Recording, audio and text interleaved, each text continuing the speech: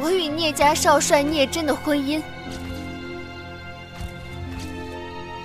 也就此作废。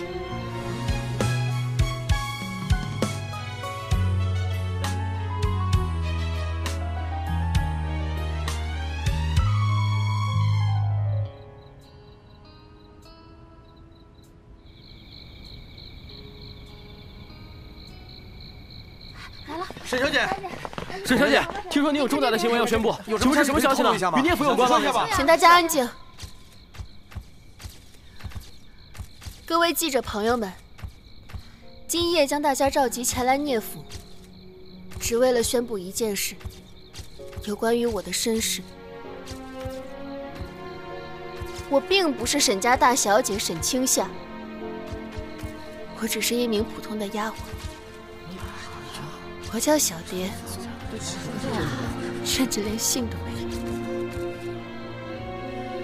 当日是出于私心，所以顶替了沈家大小姐嫁入聂家。如今聂家已经查明真相，此刻我将离开聂府。我与聂家少帅聂真的婚姻，也就此作废。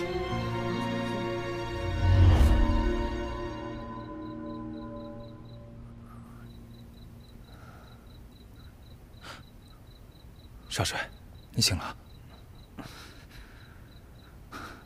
我昏迷了多久？一整天了。小蝶呢？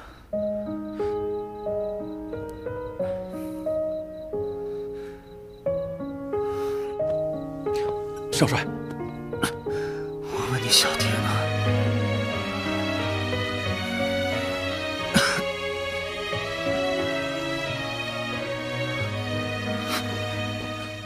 少帅，少帅，少帅，少夫人说，希望你好好活着。滚开！哎，少帅，少夫人说了，以你的能力，不可能被严冰冰困住一辈子的，但你得先活下去。滚！哎，少帅，沈小姐，沈小姐，请您回答一下。我说一下，你说的那样，什么意思啊？您回答一下吧。小蝶，少帅，沈小姐，沈小姐，请您看这边，说一下吧，清楚一点。请您不要回避这个问题啊。是啊。怎么，有事？